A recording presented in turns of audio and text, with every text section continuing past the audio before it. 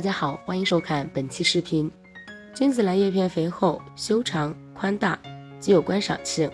今天我就给大家分享，盆里加上一勺它，一年不用管。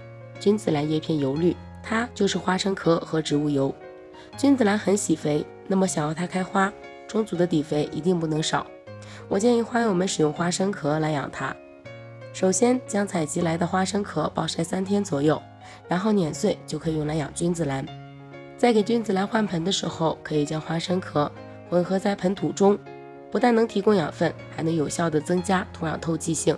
也可以用花生壳给君子兰铺面，随着浇水养分都能被君子兰根系吸收，开花更旺。使用植物油养花，花友们一定要注意用量。如果能换盆，那么可以在上盆的植物取一汤勺植物油，均匀混合在土壤中，然后将土壤装进塑料袋，密封后放在阳台上。七天左右就可以用来给君子兰上盆了，腐熟以后的效果会更好。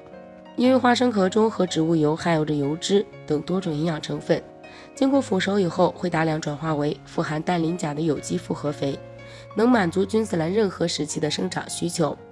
盆里加上一勺它，一年不用管，君子兰叶片油绿，开花更旺。